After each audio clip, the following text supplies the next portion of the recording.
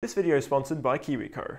This is a real, functional, jet-propelled personal hovercraft, and if you've played any of the Halo games, you'll also immediately recognize it as the Covenant Ghost. It's always been my favorite fictional vehicle, so I just spent the last three months building it in real life, and this is the result.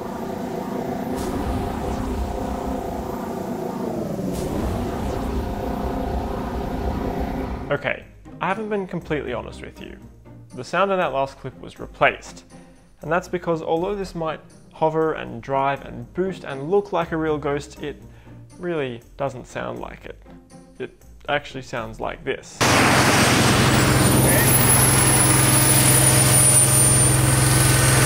If you think it kind of sounds like a furious lawnmower, well, that's basically right because it uses the engine from one. Ghosts are meant to hover using an anti-gravity drive, but I didn't really feel like developing one, so instead I used a four-stroke mower engine to power a big fan, which shoves a ton of air through this duct and into the skirt and under the vehicle. I made the skirt from transparent PVC to get it to look a bit floatier, but I know it still doesn't quite compare to the anti-gravity drive. For thrust, I'm using two small jet engines attached under the wings, similar to the blue jets in the games. I'm sure I'm not the first person to try powering a hovercraft with jet engines, but then I couldn't find anything legit about it on the internet, so maybe I am. The jet engines are so loud they basically drown out the lawnmower engine, and they burn through fuel at a frankly ludicrous rate. You really don't want to be behind these, so I oriented them slightly outwards from the driver. This only reduced the forward thrust by about 10%, and it made the vehicle's turning much more sensitive, which I thought was a wonderful idea, but, well, We'll get back to that shortly. One of my favourite parts of the whole build is the dashboard. There's nothing special about it, I just think it's cool. It's got the fuel and telemetry modules for each of the turbines, along with a tachometer, throttle, choke, and fuel cutoff for the lift fan engine. And there used to be a kill switch as well, except it started killing even when it wasn't switched, so that had to go. The best part though is the keyed ignition. If the Covenant had thought of that, maybe the Master Chief wouldn't keep stealing their ghosts. Of course, on the first test, I forgot the keys and then had to hotwire the ghost to get it running. And then we soon found out we had a fuel leak. Oh gosh, I know why that was happening. I forgot to hook up one line like an idiot. Then after fixing that, it seemed to work, but only at reduced power, so we took a bit of a pit stop and found that the dirt road on the drive here had actually vibrated the fan's shaft connection loose, and this whole time the engine was trying to chop itself to pieces using the metal fan hub. Thankfully it didn't manage to, but boy did the performance increase when we fixed that up. I should mention, my mate Dan helped me out a lot from the building onwards, and we were also given a hand with testing by another friend Justin and by Julian, whose farm we tested this on, and who got up at 4am to help us shoot at sunrise. So we gave Julian a short ride on the Ghost as a bit of a thank you. A big part of getting the hovering to work is balancing out the lifting force with the weight, and so to achieve this I printed out a reference model on a Halot 1 resin printer that Creality kindly gave me, and then I used SolidWorks to design the whole thing from scratch in a way that looked like the game model but was more mechanically feasible. On top of the weight distribution, I also had to design the whole structure to be as light and rigid as possible. So, using a vacuum cleaner and the incredible mass of the Earth's atmosphere to press everything together, the deck was made from a composite of marine ply and aluminium, with polystyrene in between, which in industry is literally called a foam sandwich. Finally, the whole top frame is made from welded aluminium tube, the construction for that ended up being a massive task, and unfortunately, while I was welding it up, I accidentally dropped the welding torch on my leg, and somehow the blunt tip of the tungsten was apparently hot enough to cut my knee nearly down to the bone. The doctor who stitched it up needed to check the ligament wasn't damaged, so he asked me to move my leg, and then when I did, he was like, Oh, good, yeah, I can see the ligament moving back and forth there, so you're fine.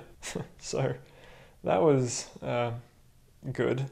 It made walking difficult for a few days, but I was on a timeline, so I kept welding until I had the frame done.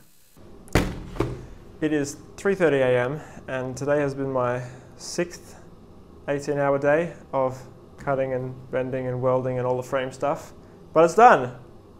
So I'm gonna get some bed, some sleep, at, in bed, yeah.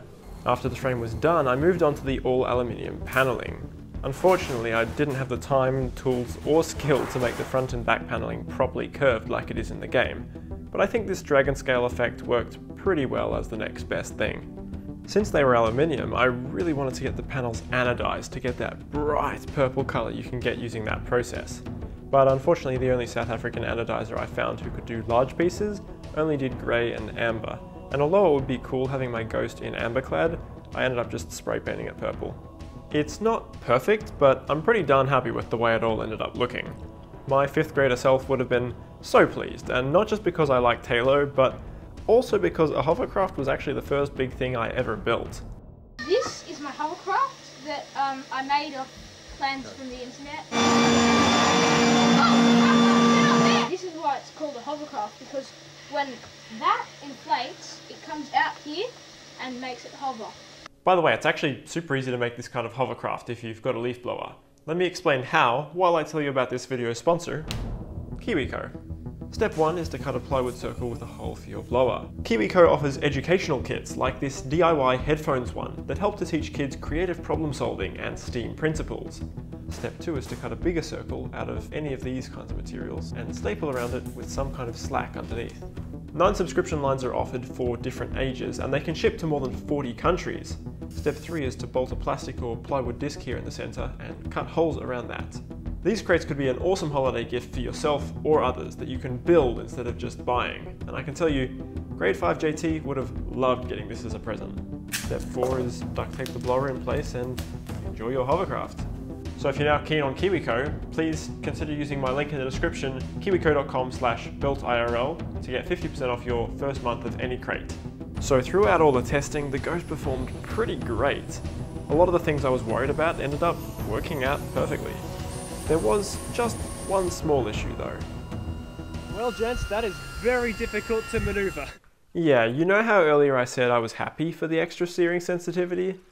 Well, it ended up being absolutely horrific. Combined with the 3 to 5 second delay and the jets ramping up and down, it was constantly a struggle to avoid just doing donuts everywhere. I did get a couple of straight runs in though, including this unfortunate one where Julian's puppy left the car and tried to chase after the ghost. Thankfully it wasn't hurt, although I don't know how the dog was. No, I'm kidding, I'm kidding, the puppy was fine, but the ghost did actually crash and it got a small tear in the skirt. It's a very easy fix for next time though, so see you then.